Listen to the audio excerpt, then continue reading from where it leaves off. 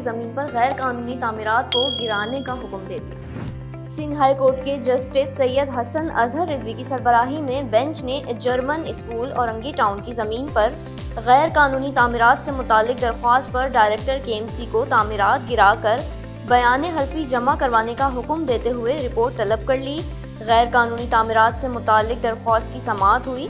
दरख्वास्त गुजार के वकील ने कहा कि रफाही प्लॉट्स की लीज किसी इनफरादी शख्स को जारी नहीं की जा सकती औरंगी टाउन में जर्मन स्कूल तवील अरसे से चलाया जा रहा था।